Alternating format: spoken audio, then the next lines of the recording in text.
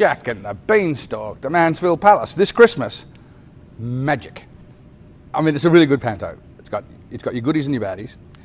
It's got pantomime cows, it's got Jack, it's got Beanstalk, it's got giants, everything.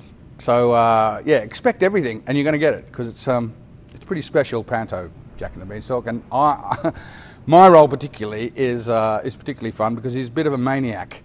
Um, Fleshcreep is the old name for the guy, but he's not that creepy. He's more a little bit of a crazy fool of a guy. So um, yeah, a lot of fun to be had. So yeah, expect a lot of fun and value for money.